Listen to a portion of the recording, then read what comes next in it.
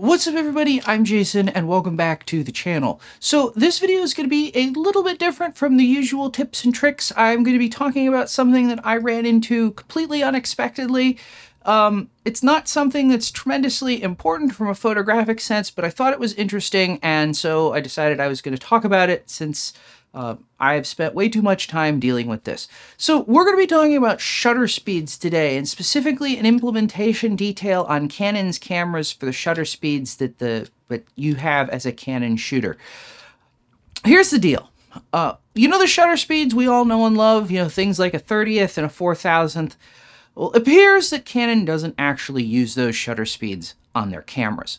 Uh, they use shutter speeds that are very close to those shutter speeds, so it's not like they're doing something completely weird and different or wrong or something, anything like that. Uh, so what Canon actually appears to be doing on their cameras is using powers of two to get the shutter speeds. So 2 to a positive uh, exponent give uh, from 0 and up actually gives you of whole numbers. So that would be your shutter speeds of like 1 second, 2 seconds, 4 seconds, 8 seconds, and so on. 2 to a negative exponent gives you a fractional shutter speed. So again, that would be like half, quarter, eighth, and, and so on and so forth. Now, outside of the range that I just talked about, the shutter speeds then start to deviate slightly from the traditional values.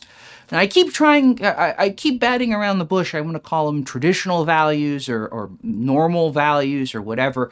Uh, but the reality is, is that they're not exactly right. So it's not right to call them the correct shutter speeds because if you go and you stop and look at the shutter speeds that you actually work with, uh, there's a whole bunch of places where things aren't right. The, they're close, they're good enough, but they're not a perfect progression through the shutter speed range in stops. And that is something that actually falls out of what Canon's doing. So Canon actually maintains proper one-stop increments from full stop to full stop shutter speeds without rounding. That never happens with Canon's system, whereas with the more traditional numbers that we use, that rounding situation comes up kind of all the time. Okay, so now that I've outlined what the discovery is, let me talk about how much this doesn't matter. And that's really what it comes down to. It doesn't matter. Uh, for normal photography uses, etc., the, the difference is completely meaningless. So, for example, the difference, there, there ends up being sort of two cases that happen, a better case and a worse case. So for shutter speeds, 125th of a second and faster, the difference between the shutter speed that Canon uses and the shutter speed that you would expect from the normal value that you see sort of presented works out to be 34 thousandths of a stop. So 0.034 stops. Now to put some perspective on how photographically irrelevant this is, Profoto makes really high-end studio strobes. If you're a photographer, you probably have heard of them. Their strobes allow you to control the brightness in 10th stop increments. So three times less, or it's a three time larger jump in brightness that Profoto is making compared to the error that your that Canon has is having in this situation. Canon's higher end cameras such as the EOS R5 or R3 and 1DX have a auto uh, exposure meter adjustment that they can tune the meter in eighth stop increments uh, plus or minus a stop and eighth stop increments. Here again, that's 0.125 of a stop, and that's four times roughly larger than the error that is imposed by this thing from a normal a normal exposure or normal shutter speed to the shutter speed that Canon's using. Now, the bad range, the worse range, is from a 15th to a 60th of a second. So a 15th is a 16th, a 30th is a 32nd, a 60th is a 64th. In this case, the error is only zero, is, is it's worse, it's 0.93 stops or 93 thousandths of a stop. So it's still not as big of an error or as big of a jump or change as the minimum setting that Profoto makes or that Canon has for adjustments on their camera. Uh, so basically, the short of it is this. If I'm standing next to somebody who isn't shooting a Canon camera and their camera is using the traditional shutter speeds, now I don't know where this applies in the industry. I only know this is the case on Canon's cameras because that's what I have and I've tested with. Nikon, Sony, Panasonic, all the other companies could be doing the exact same thing, and I don't know because I don't have their gear. But assume they aren't for a second. And if I'm standing next to you and you're shooting, say, a Nikon and your camera is actually shooting at a 30th of a second, and I put in the same shutter speed, aperture, etc. settings on my camera, I'm never going to be able to tell a difference between the two cameras' images based on the if the, the difference or the error or whatever you want to call it that happens in the shutter speed. In fact, to point out or to underscore just how insignificant and irrelevant this is, if you've been shooting Canon since at least 2008, this has already been your norm and your reality. Uh, so I went back in the process of testing this and looked at metadata that was coming off of my 1D Mark III from 2008 and it was it putting in it it was producing the same metadata apparently using the same shutter speeds that my R5 is using today. Personally, I think that this actually goes back all the way to the introduction of the EOS platform in the mid-1980s, uh, possibly even with the T90 in the mid-1980s for a variety of reasons that I'm not going to get into in this video, but if you're interested in a way technical thing on computers and exposure and whatnot, uh, check out the extended discussion that I'll link at the end of this video. Now, that said, there are two places where this comes up uh, or could come up. So one of them is when you're shooting video and you're dealing with flicker because you're shooting at a frame rate that is not the frame or that is not an integer multiple of the flicker frequency of the lighting in the place that you're at. Now, I say that, but in all the testing I did for my video talking about flicker, I could not actually get this to be a problem under proper or traditional or normal lighting. I could create the problem using a custom-built PWM-controlled LED light where I could put it into a, a, situation where it was not necessarily representative of how real lights flicker.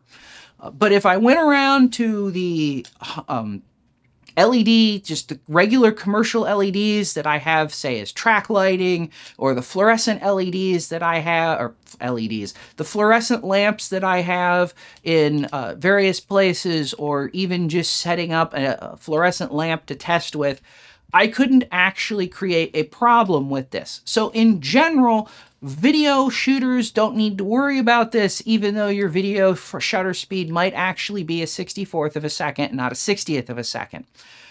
Uh, where this kind of comes in and why I'm only mentioning why I'm mentioning this with respect to video is that there is of course always the possibility of running into a light that the camera just doesn't get along with that other cameras do. And this could be why that's happening. Uh, but again, I think it's going to be a very niche, tiny edge case situation that that turns into the case. The other place that this becomes an issue is where I ran into it, which is measuring something specific in the time domain. Which brings me to why I'm actually talking about this in the first place. I'm working on a project to look at rolling shutter performance on Canon's cameras. And the method that I'm using requires knowing the exposure time and knowing the exposure time very or fairly precisely. I mean, you, you could ignore it and you can round it and you can just say that's good enough, but I'd like to actually know what the exposure time is and not the, uh, you know, some random thing. Uh, so this led me down two paths uh, to look at shutter speeds and just in general and try to figure out what was going on. Uh, so first of all is I'm lazy, and my computer is really good at counting things. Uh, my computer could do hundreds of frames worth of calculations for rolling shutter testing in the time it takes me to do one frame by hand. So I want to have my computer do that. Uh, part of that process is reading metadata out of the files and the, uh, so I started looking at Canon still and video files to figure out what metadata I needed to read to be able to get the exposure times for those files. And this is where I ran into the first thing that prompted me into this discussion. So in Canon video and still files, I found four different exposure time settings or shutter speed settings stored in the metadata. Now, some of those were the numbers that you would expect, 1 4000th, 1 60th, etc. The others were these off numbers, the 140 96th or the 164th, that prompted this whole discussion. Okay, that got me thinking.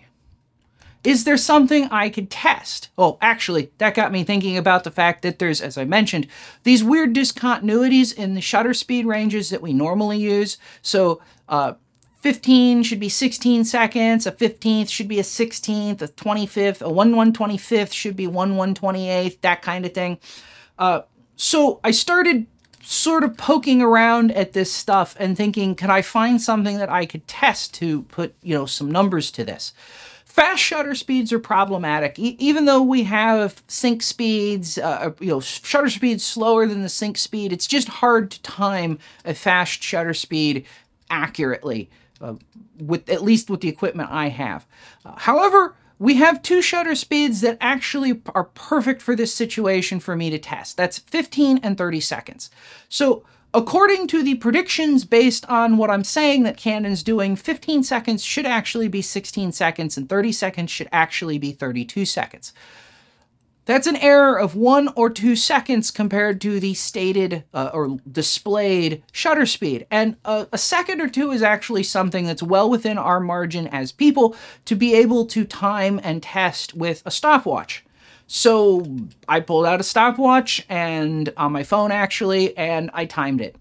And quite unsurprisingly, considering that I'm making this video, although I was very surprised at the time, the exposure times that I actually arrived at were 16 seconds and 32 seconds respectively. So the camera was doing what I was predicting is a power of two, not what you would expect if you'd used the traditional uh, time, you know, traditional times.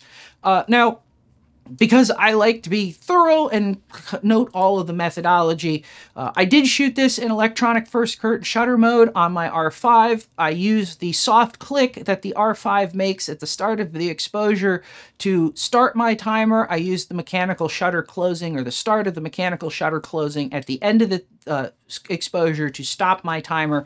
Neither that click or the mechanical shutter are a second long. And in fact, the uh, camera was set to one shot. I'm a rear button focusing user, so there's no autofocus delay involved. And all of this I went back and looked at after doing it with a stopwatch. I went back and said, well, wait a minute, let's look at this with a little bit more precision. So I flipped my phone around, switched it to video, 60 frames per second. This gives me an error of 16 and a half milliseconds per frame, but more or less. And I retimed the whole thing, recording it on video and using the frame counts to actually do the timing. And that's what you're looking at here. So, with that done, I then went and looked at the other camera that I have readily ready access to, which are my old 5D Mark IVs. Uh, Presuming if Canon's doing this in the R5, my question was, well, what if this is something new, or is this something new, or is this something that's not new? Tested on the 5D Mark IVs, they did the exact same thing. So this is obviously not complete and comprehensive testing of all the shutter speeds on the camera, uh, but it's sufficient for me to assume that the cameras are using powers of two shutter speeds and not the actual shutter speeds that the, the says on the tin. Uh, so a 125th of a second is really a 128th of a second, a 15th is really a 16th, a 30th is a 32nd, so on and so forth. Of course, as all these things end up being whenever I get into one of these projects, this just raises so many more questions for me to either look into, and this is why this spirals out of control so more often than not for me. Uh, so the first question that I had are is video are video shutter speeds on the R5 used doing the same thing as the still shutter speeds are? And the answer appears to be yes. I did some very simplistic testing, specifically, again, using this LED light that I keep talking about. Uh, camera was set to a 50 frames per second, a 60th of a second, and then I tweaked the LED's frequency and duty cycle to create a situation where I definitely would have flicker. And I had flicker at 120 hertz, but not at 128 hertz. Uh, 128 hertz would be two flickers every 64th of a second, which would indicate that the camera was exactly using a 64th of a second. Now, again, I want to reiterate this light is not representative of the reality of shooting under any kind of lights in any kind of situations. And if I take the camera with the same settings of 50 frames per second, a 60th of a second, or even, even 125th of a second for that matter, and I go put it under regular commercial LED lights, I don't get any flicker problems with this configuration. So this does go to underscore the point that I've made in the previous video about there is margin. The, this isn't, that doesn't have to be perfect. Uh, when you're dealing with flicker, you just have to be good enough, and it's very clear that all of this is good enough. This also raised the question in my mind of, does Canon Cinema EOS cameras do this as well? And the answer to that is, I don't know. I do have an R5C. I could very easily, well, I could reconfigure the R5C to look into this. However, when push came to shove, I have my R5C configured exactly the way I want it in 60 hertz mode. Switching it to 50 hertz mode means I have to make a lot of, or make some configuration changes to get it back to the way I want it when I'm done. And I'd rather not do that just to test this on cinema cameras especially given the fact that I don't see any flicker problems anywhere, and given the fact that on Canon cinema cameras, there is a clear scan shutter mode that gives you very, very fine control over the shutter speeds that the camera is using, and if you run into flicker problems, you can always flip into that and clear up any flicker problem, or pretty much any flicker problem, uh, with that regardless of what the is going on with the light source. Third question that I ended up asking myself is, is does this apply to any other brands? Like what's Nikon, Sony, etc. doing? Well, obviously, as I said, I don't have any Nikon or Sony or Panasonic gear to test with, so I can't test it directly. I did make a cursory attempt to look at this in that I have uh, meta or I have images taken on some Nikon gear, specifically the Z9 and the D500. So I went and looked at the metadata that Nikon includes on their cameras, and they don't include the same metadata that Canon does. Uh, specifically, the the metadata that was saying on Canon cameras that they were, you know, the, the target shutter time or target exposure time was 164th of a second or whatever. Uh, Nikon doesn't include that, so I don't know. Uh, I could see, like, I don't want to jump to a conclusion on this and say Nikon isn't doing it. I don't want to jump to a conclusion and say that they are, they could be, they couldn't be. Uh, without actually performing testing, I don't know. Uh, so on that note, if you do have Nikon gear and you're interested in looking at this, or you just decide that you're going to test it, and you do the 30, uh, 15 or 30 second stopwatch tests with your camera, leave a comment in the discussion below and let me know what your camera's doing. So like what model and what your camera actually did. Uh, I'm interested, uh, you know, this is something, again, from a, a functional standpoint, it's a, a, meaningless difference to the whole thing, but from a like just curiosity standpoint, I'd, I'd really like to know kind of what's going on.